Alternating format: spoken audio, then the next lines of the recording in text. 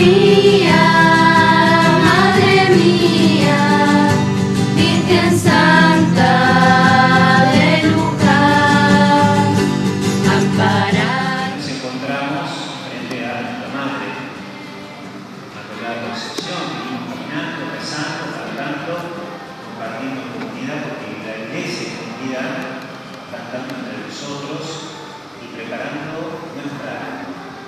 Qué? Para recibir nuevamente a Jesús.